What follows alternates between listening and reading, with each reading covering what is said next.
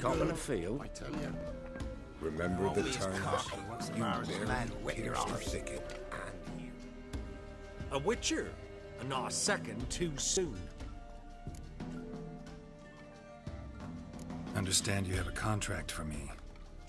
Oi, it's my brother Mickle. Been a week now since he took the women of Bellows into the hills. The women of Bellows? Bellows were a rich village, till the war passed through. Huts were burned down, larders cleared out, all the menfolk conscripted. Women were left to fend for themselves, without food nor shelter. No one wanted them.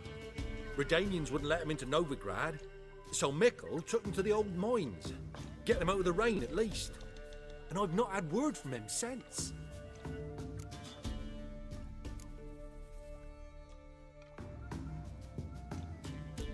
Could look into it.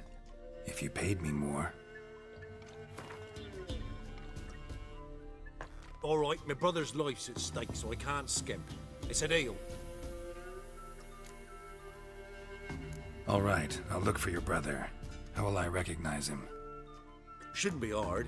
He was the only lad in a group of women. Corpses aren't always in a condition where I can determine the sex. Corpses? Take it back. They got lost, is all.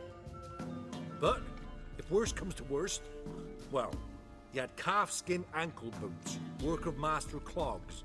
Told him not to wear wear 'em into the hills, he'd only ruin him. But he was so proud of him.